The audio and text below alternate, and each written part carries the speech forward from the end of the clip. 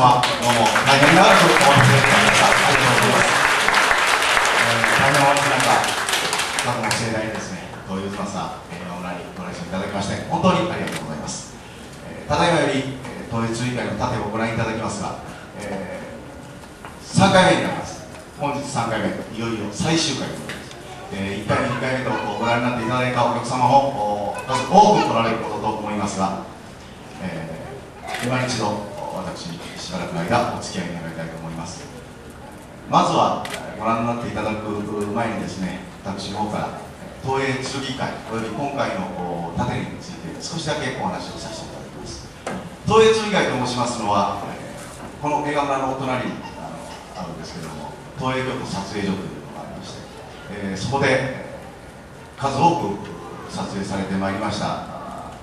映画作品テレビ作品、えー、そのチャンバラシーンをですねあの50年以上50年以上にわたり支えてきました縦のスペシャリストのグループです。現在は俳優17名、えー、3名という構成になっております、えー、東映剣会と申しますのでえ皆様この機会に県会ではなく剣会という名前をしっかり覚えて書いていただきますと大変嬉しく思います。さて、えー、今回の盾ですけども3部構成になっております。第1部を雪の章第2部を月の章第3部を花の章こういう3つの章に、えー、で題してやらせていただきました。でそれぞれ、えー、先ほども申しましたけどもあの3名の武士私の先輩であります、えー、菅原敏夫、えー、上野隆三そして私清家光彦がそれぞれを担当し、違った動き違った技、え、違ったムード。まあ、いわゆるそれぞれドラマを作ってまいりました。盾というのはセリフのないドラマです。その3つのショーのドラマがですねいかなる展開をいたします。か心よくまでじっくりとお楽しみいただきたいと思います。それでは東映剣会にしかできない盾。東映剣会だからできる盾。最後までごゆっくりお楽しみください。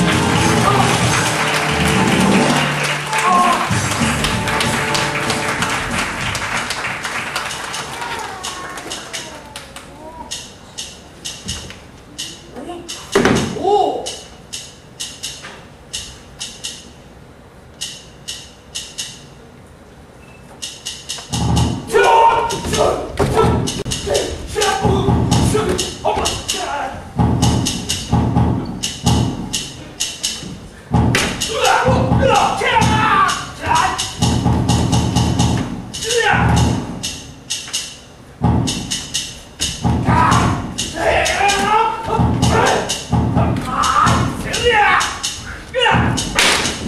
打！